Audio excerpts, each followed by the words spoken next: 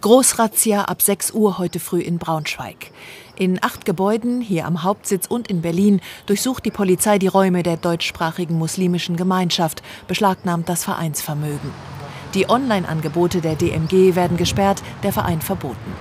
Ein harter Schlag gegen die salafistische Szene in Niedersachsen und darüber hinaus, so die Innenministerin.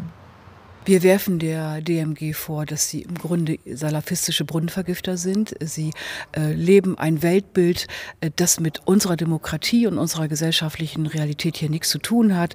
Sie wenden sich aggressiv gegen Frauen, gegen Ungläubige, gegen andere Religionen. Sie sind antisemitisch, sie sind israelfeindlich. Äh, sie leben ein äh, Familienbild, das äh, bei uns in Deutschland keine Unterstützung hat.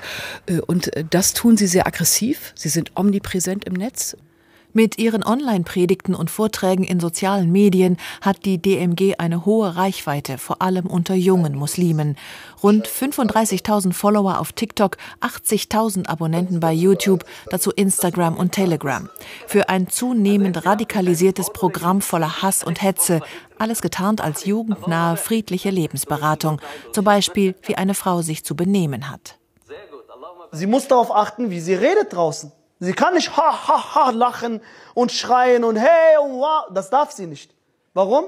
Weil sie muss neutral und unauffällig wirken wie möglich. Die Prediger sind eben allesamt Personen, die ein sehr rigides Islambild vertreten und die das gleichzeitig vermögen, in sozialen Netzwerken in sehr, sehr kurzen Videos auf den Punkt zu bringen und mit Humor zu kombinieren und gerade dadurch für Jugendliche sehr, sehr anschlussfähig sind und an die Sehgewohnheiten junger Menschen anschließen. Der Verein selbst gibt sich harmlos, frei von jeglicher Gewalt.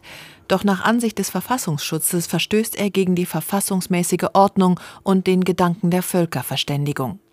Der Zentralrat der Muslime ist besorgt.